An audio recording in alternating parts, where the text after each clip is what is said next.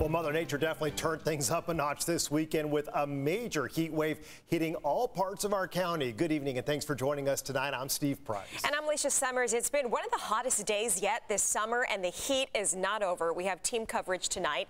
Meteorologist Sean Stiles will join us with a look at tomorrow's forecast and it's looking just as hot. News 8's Teresa Sardina is going to show you some of the options available for staying cool and some that are closed due to the pandemic. But we begin tonight live at La Jolla Shores, where News 8's Neda Iranpour has a look at the large crowds. Neda?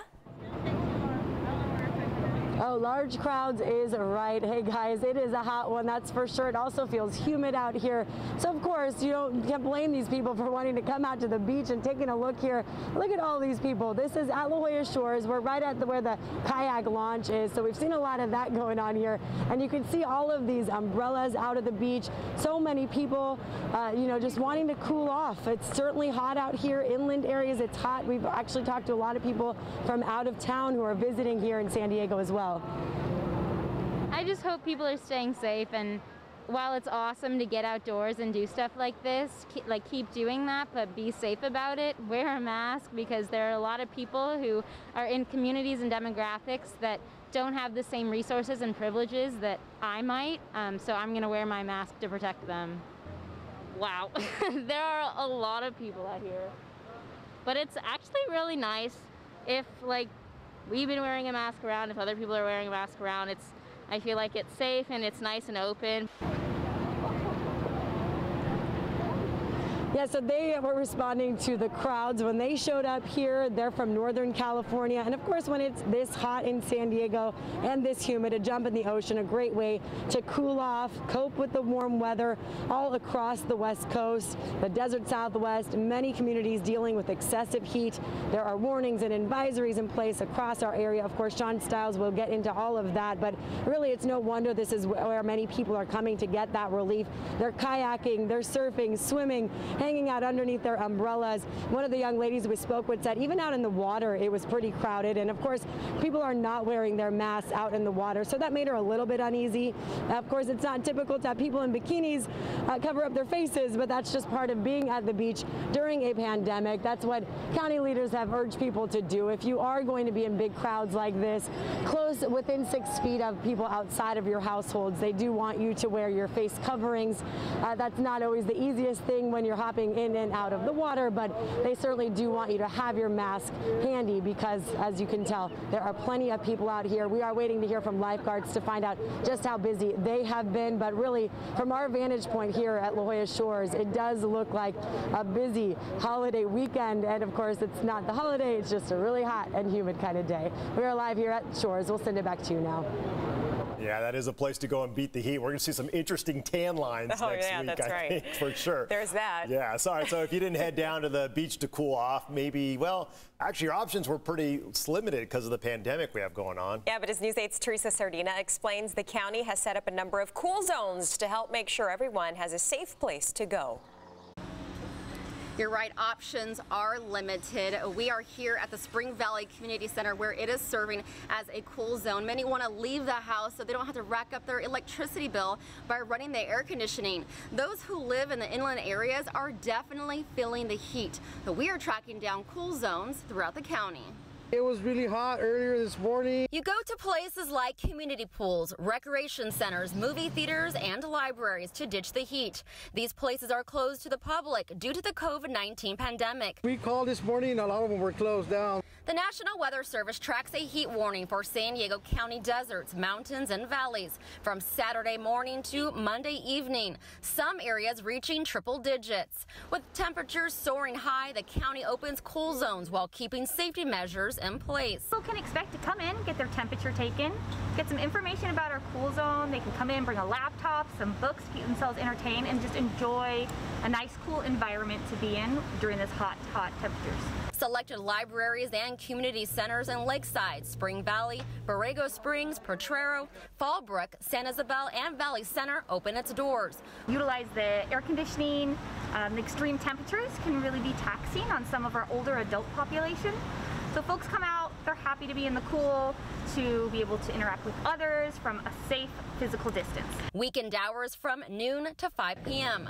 Monday through Friday, same hours. Another cool zone in Chula Vista, the former Sears building at the Chula Vista Center. Expect temperature checks. Visitors must wear face coverings and practice social distancing. Be accommodating with the time limits and limited capacity.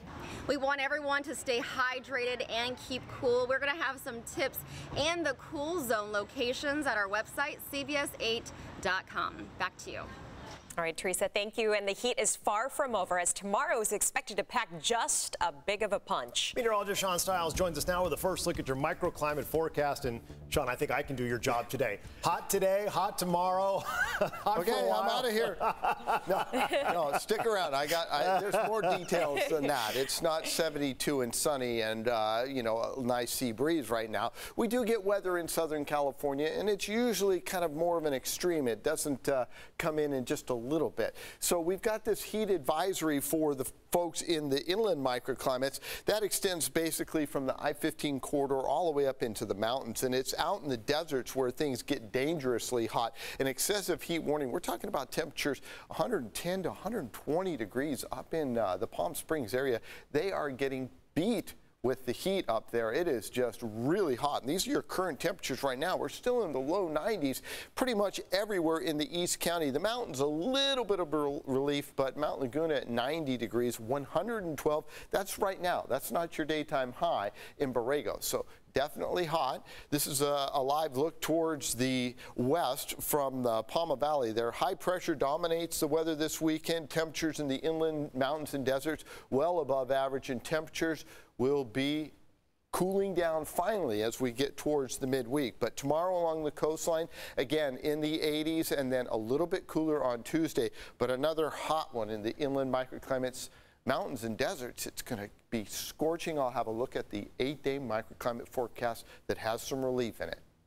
All right, and all this talk about the weather brings us to our poll tonight. How are you beating the heat? Yeah, did you head over to the beach like we saw with Neda? A lot of people heading there, or Maybe you have AC at your house, and so you're able to just stay cool there. Maybe you went to a cool zone like we saw in Teresa's store or something else. If you vote other, I'm curious to know what you did, so you can leave a comment on my Instagram page. It's Steve Price TV. I put up a picture there. You can just leave your comments underneath, and we'll read some of those on the air as we go through the show. But at this point, man, the overwhelming uh, majority of people are saying staying home, turning, turning on, the, on AC. the AC. I mean, that's really the ultimate relief. Yeah. Um, to vote, just log on to the News 8 app and scroll down to the Vote tab, or you could go to cbs8.com slash vote. We'll have an update coming up a little bit later on in the show. Each year, SDG&E holds fire safety events in person, but this year, due to social distancing, the company held its first drive-through wild safety fair in Ramona, where organizers say over 400 cars came by. Yeah, the goal was to get residents ready in case of an emergency. News 8's Heather Hope shows the big takeaway from today's event. Yes, Steve and Alicia, today's wildfire safety fair was packed with cars and cars for miles. Not only did you receive great information, people also received a lot of great things. Everything from much needed toilet tissue to flashlights, sanitizer, emergency radio, solar charger, down to a bag, a bucket, and a blanket. Everything to get you ready in time for a disaster.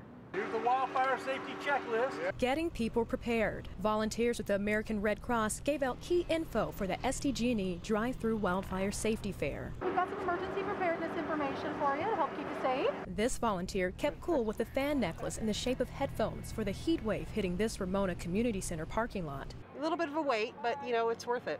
Kathy Stedham came for info since her home burned down in 2007. The evacuation, they didn't know what to do. Um, so I think that these are great for, you know, for information.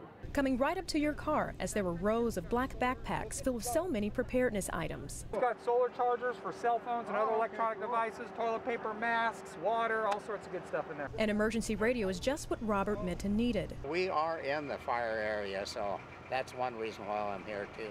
Vegetation management handed out free plants. They're drought resistant, And if you're limited on space, this is the perfect tree to plant under the power lines.